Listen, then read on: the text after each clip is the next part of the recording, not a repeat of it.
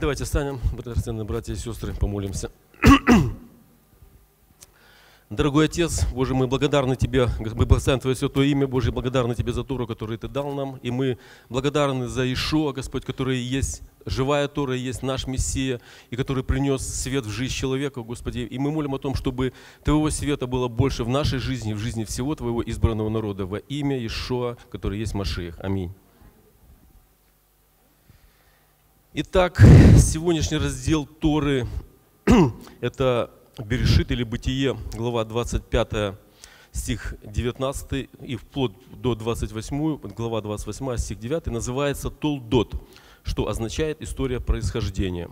В ней описывается э, следующее событие. Это история э, происхождения значит, э, Исхака, о том, как он э, молился за свою жену и значит, у него родились дети, о том, как он жил там в Гераре, про колодцы и про ситуацию, которая была между его э, детьми, между Исавом значит, между Исавом и Иаковом. Вот, и заканчивается тем, что Исхак благословляет Иакова, и он, короче, уходит из, из дома. Вот. Ну, у меня при подготовке к, э, этому, э, к этому комментарию у меня было огромное желание говорить об Ицхаке. Честно говорю, это для меня было трудное решение, потому что личность Исхака для меня была во многом скрыта.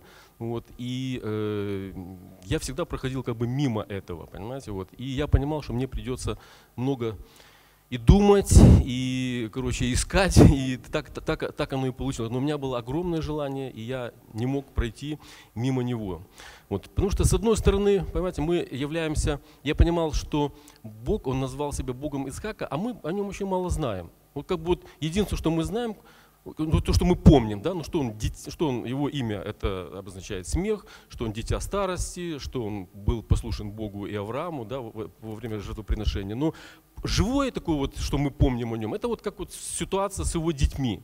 Вот. И мы как бы являемся заложниками вот этой вот ситуации, потому что она больше всего и ярче всего описана в Торе.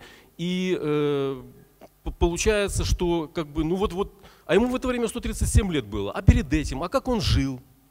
А жизнь его была, в общем-то, э, ребята, она была она была. Это была жизнь праведника, и он, э, как бы, дай Бог каждому прожить такую жизнь. 180 лет ушел насыщенный днями, в его жизни не было серьезных потрясений, ну, если не считать самое большое, это э, с, с Иаковом, да. Вот, то есть, ну, дай Бог прожить каждому, жизнь тихая безмятежная, как апостол Павел говорил, понимаете. И, и я понимал, что если мы пройдем мимо этой жизни, мы что-то пропустим, потому что мы-то хотим жить тихую и безмятежную, да?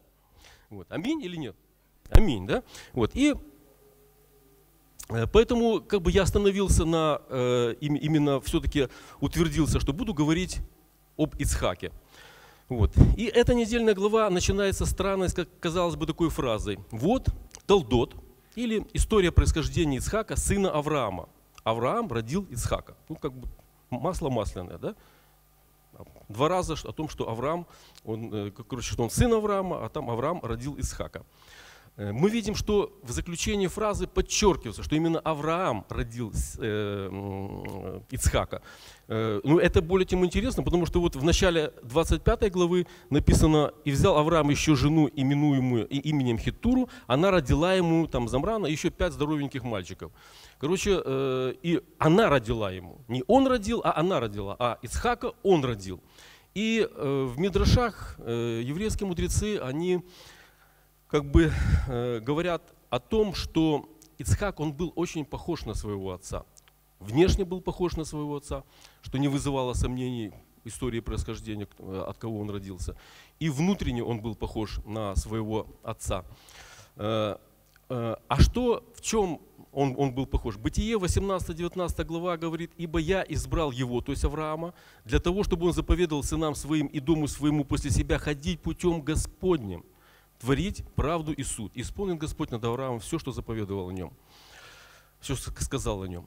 И как жил э, Ицхак, подводит итог его жизни, подводит сам Господь, когда он говорит, что он Бог Авраама, Ицхака и Иакова. То есть он говорит, что его жизнь, она была, да, она была вот такой. Он ходил предо мною, значит, и я все исполню. То есть его жизнь, она была достойной, это была жизнь праведника. Это первое, что, что мы запомним. Он был похож на Авраама, он был достойный сын своего отца, и во всех, во всех отношениях, и в духовном плане, наверное, и в, ну, в общем, был похож, во многом был похож отношением к людям, к делу и так далее. И еще сказано э, о том, что это в главе 11 евреям, что верую в будущее Исаак благословил Иакова и Исава. То есть он был глубоко верующим человеком, он внесен, Исаак, он, э, Исхак, он внесен в, э, в, значит, вот, в этот ряд э, людей великих верою. Вот. Таким образом, значит, первое, что мы понимаем, что это был что Исхак это, это был достойный, достойный э, сын своего отца. Ну, мы, впрочем, мы это как бы понимаем, да, глядя на его жизнь. Вот, я просто констатирую, констатирую факт. Конечно, он отличался от своего отца.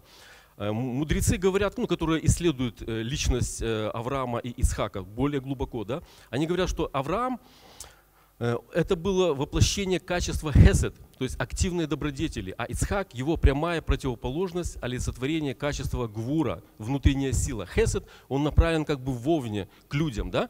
а гвура, она направлена вовнутрь человека, ну, как бы во внутреннюю, э, в суть человека и сосредоточена на его связи, сосредоточена на его связи с Господом. На это указывает и Тора, которая отмечает некоторые качества Исхака, на которых я и становлюсь, и которые для нас будут полезными, по моему мнению. Например, Бытие 31.42, вот когда Яков выговаривал Лавану за его неверность в расчетах, э, он сказал,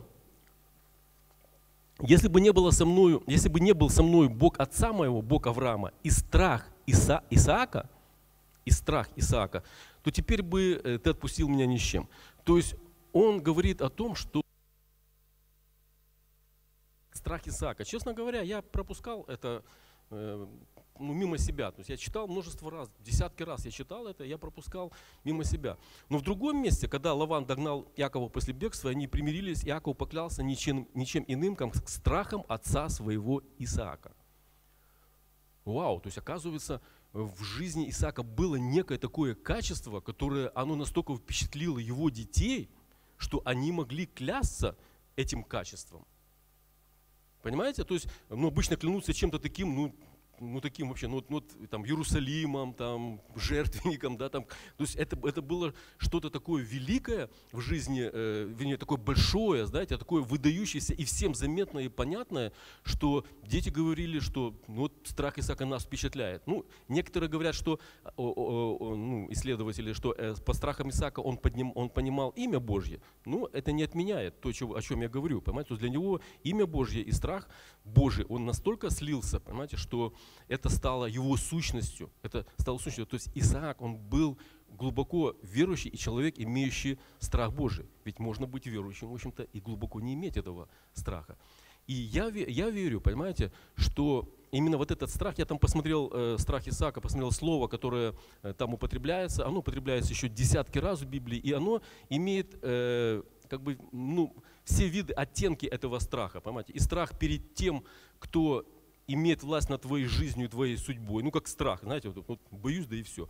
Вот. И как страх, как благоговейное почтение. То есть в этом страх Исаака, он включал в себя и то, включал в себя и то, и в другое. Он знал Бога, он знал, что да, от Него зависит моя жизнь, и он понимал, кто он. Поэтому, когда он пошел к жертвеннику, понимаете, это было не просто э, реакция на послушание, ну, послушный сын, да, нет, нет, он знал, он знал, кто э, хочет этого, да, чтобы ну, вот, вот это вот было то что, то, что происходило. И он понимал, и он глубоко смирился перед этим. Друзья, и это, это явилось сердцевиной э, как бы характера и жизни э, Исаака. И это дало ему то благословение, я больше чем уверен, э, которое, которое он имел в жизни. Потому что, ну, почему именно страх? Потому что ну, мы, когда мы читаем Библию, мы увидим, что э, страх – это есть основа мудрости. Аминь. Вот. И если тут и, и, вот вторая глава, например, притч, там, третья, восьмая, я просто отовсюду буду брать, она говорит о том, что тот, кто имеет страх, он находит познание о Боге. А Бог дает мудрость и знание, и разум, да, и Бог, э, от Него исходит, короче, от Него все, э, исходит все, э, все то, что дает успех в жизни, понимаете? Поэтому, если имеешь страх, это прямой путь к Богу и получение от Него, от него той мудрости, которая нужна нам для жизни, для, реш, ну, для принятия решений во многих обстоятельствах. Это как в духовных вопросах, это как и в вопросах практических для нашей жизни, ну, многие вопросы. Вот. А мудрость, она говорит, у меня, говорит, Э, в правой руке долгоденствие, а в левой руке, в принципе, богатство и слава. Вот, поэтому, имея страх Божий, значит, э, Исаак имел то, что он имел в жизни. Он, он имел и богатство, и славу, и спокойную жизнь и так далее. Потому что у него, был, у него была эта мощная основа, на которой он строил свою жизнь. И э, вы понимаете, он не был э, счастливчиком от Господа. Знаете, я как-то я думал, вот я смотрел на него жизнь раньше, я думал, ну, ну у него же папа такой. Ну, знаете, ну как вот, как то бывает вот, вот такой мажор от Господа, да, вот, э, вот папа, и все у него получается, ему все сойдет с рук и так далее. Нет, друзья, немножечко не то он прожил свою собственную жизнь. Это была достойна жизнь праведника. И мы, мы смотрим по э, жизни его сына Иакова, это был тоже достойный человек. Он был назван Тамим. Тамим это, ну, это как Ной. Ной тоже был Тамим. И Ной ходил перед Господом. И Иаков ходил перед Господом. Но немножко схитрил. Ну, это не мои слова, это папа сказал вот в этой главе. Папа сказал, ну он хитростью говорит, вот пришел вот и забрал твое благословение. Немножко схитрил, и он потом имел как бы по, своей жизни, да, мы знаем, 20 лет работал на кого-то, и потом, когда он пришел э, к Иосифу, он говорит, ну, перед фараоном сказал, говорит, жизнь моя была Вау, вау, короче, такая нелегкая была жизнь. Маленькая хитрость у, у Тамим. И вот он, он понял, у Иакова очевидно, я так вот думаю, и я смотрю, у Иакова не было, не хитрил, не, не, не хитрил он. Э, были, не могу сказать, что он, он был во всем, э, как бы, все у него было так вот.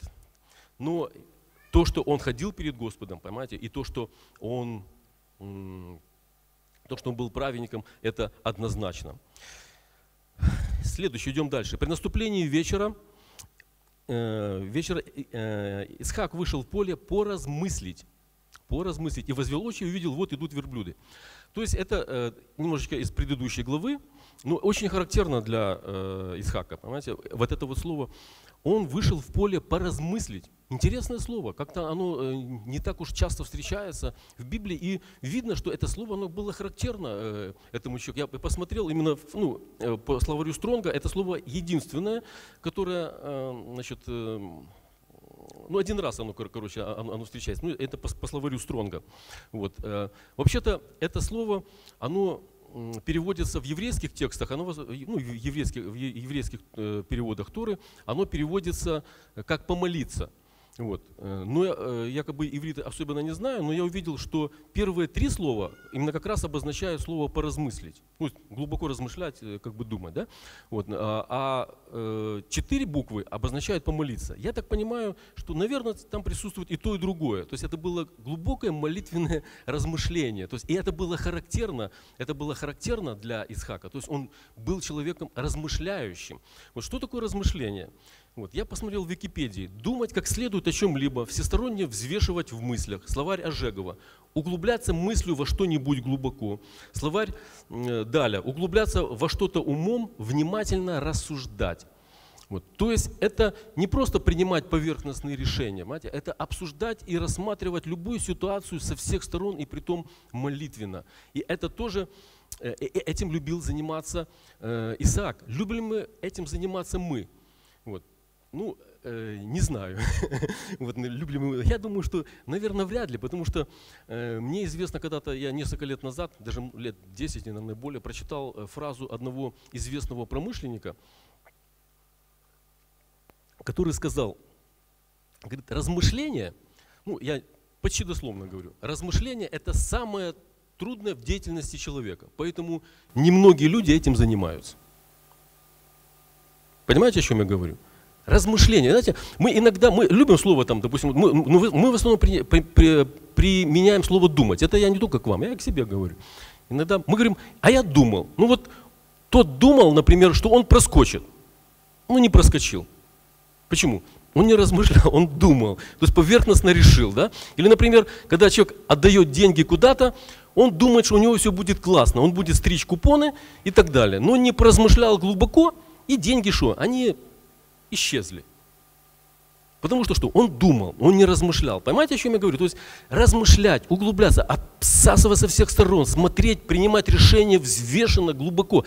Это э, характерно для э, Исхака. Я э, ну, не только над этим, просто уже как бы мало, мало времени, понимаете, вот, но даже вот такой вот моментик, давайте один рассмотрим, там у меня несколько примеров. Вот когда он благословлял э, своих сыновей. Смотрите, пришел, э, пришел Иаков, значит, э, представился ему Исавом, он поверил, что это Исав, благословил его, но он не благословил его э, полным благословением Авраамова, он благословил его царским благословением. Но уже, э, а ну, то есть он как бы благословением руководства, да, процветания и так далее. А когда он отправлял его в Месопотамию, он благословил его благословением Авраамовым. То есть даже в этой ситуации, понимаете, благословляя Исава, э, он знал то, о чем говорила э, ему, очевидно ему говорила супруга о том, что, ну, когда она вопрошала Господа, о том, что младший будет э, как бы наследовать э, старшинство, да, вот, то он, он понимал, что Исав, он, он размышлял, понимаете, над жизнью и Исава, и Иакова. Он видел, что, хотя он и любил Исава, но в жизни Исава не было того плода, который был в жизни Иакова. И он, поразмыслив, все-таки не благословил его Хотя, по идее, должен был благословить э, полным благословением. И э, благословением царским, и благословением священническим. Понимаете? Вот именно благословением Авраама. Но этого, этого не случилось. Я так думаю, что это тоже свойство его э, личности. Понимаете? Он поразмыслил, ну, думал, лучше э, я еще подумаю, каким образом, и э, дальше видно будет. Следующее. Да, кстати, такой, такой, такой, момент. Мудрость или премудрость, она говорит, я вообще-то люблю рассуждение. Э, я обитаю с разумом и ищу рассудительного знания. То есть мудрости, ей комфортно, когда мы рассуждаем, понимаете? Вот, но ей комфортно не просто, когда мы рассуждаем, ей еще и интересно, когда у нас еще и знания есть. Меня все слышат, да? Аминь, аминь, да? То есть в любой ситуации, друзья, если мы не имеем знания и рассчитывать на то, что, не прилагая усилий и рассчитывать на то, что вот я абсолютно не имея знаний, вот помолюсь, и мне сверху спустится листок, и там будет четко написано, как мне вот в этой ситуации как бы действовать. Ну такого не бывает. Иосиф, прежде, чем, чем его назначили премьер-министром, он прошел определенные ступени руководства, он, он получил это знание. Давид, прежде чем он стал царем, он, он 13 лет проходил ступени руководства царского, понимаете, прежде чем он стал царем. И так этот принцип он будет со всеми. Не получится, не бывает такого, знаете, что вот я не прилагаю усилий, без знаний, и у, у меня все, ну, как бы, только помолюсь, и все, и Господь, Он такой добрый, что, что Он мне даст. Бог, понимаете, надо смотреть в, на э, Библию в целом. Он говорит не только о том, что Он даст, но Он говорит, что будет, при каких условиях Он даст. Еще, есть у меня пару минут, еще один, один э, случай, смотрите. «И сеял Исаак», ну это то, что говорит э, в, о характере Исаака. «И сеял Исаак в земле ту, и получил тот год ячменя во сто крат. Так благословил его Господь. И стал великим человеком, и возвеличился больше, и более того, и стал весьма великим». Он сеял во время э, э засухи, да, вот, значит, э, и это было как бы ну, не совсем обычно. Вот. И э, Бог подчеркивает этот момент, такой деятельный момент. Понимаете? До этого мы говорили о духовных вопросах, мы говорили как бы о м, душевных э, качествах э, значит, э, Исаака. Здесь мы говорим о его, деятельности, о его деятельности. Он сеял, он, он действовал. Это, это был деятельный человек, понимаете? Это, это был человек, ну, как можно вот оценить, э, допустим, то, что он сел вот именно э, в то время? Чтобы понять, что, о чем здесь говорится, давайте посмотрим в Экклезиаст 11 главу с 3 по 6 стих. Когда облака будут полны, то они прольют на землю дождь. Если упадет дерево на юг или на север, то оно там и останется, куда упадет. Кто наблюдает ветер, тому не сеять. Кто смотрит на облака, тому не жать.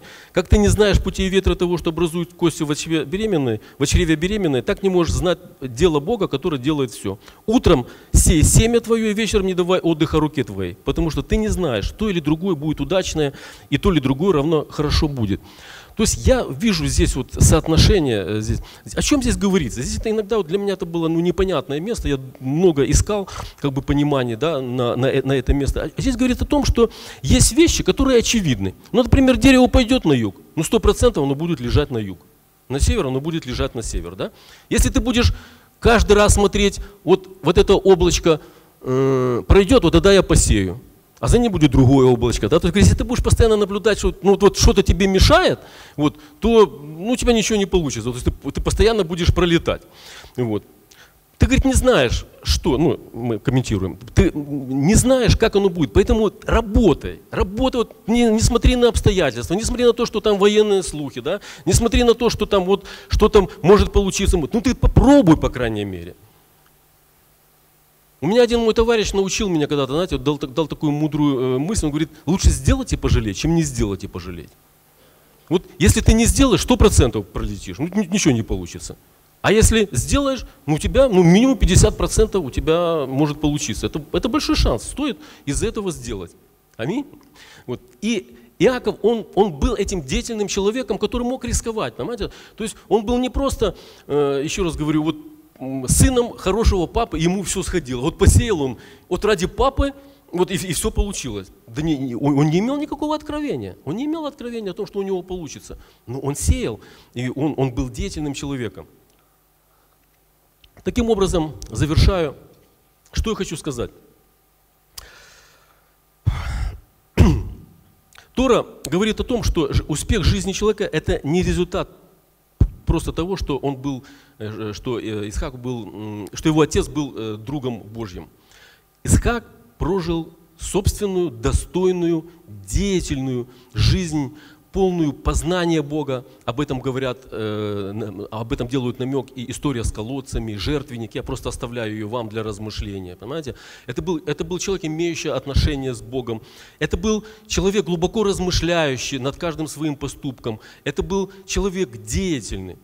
Вот, и это был праведник. И он в результате он прожил он прожил долгую, насыщенную жизнь, и э, это, было, это был результат его жизни, это был не результат папы.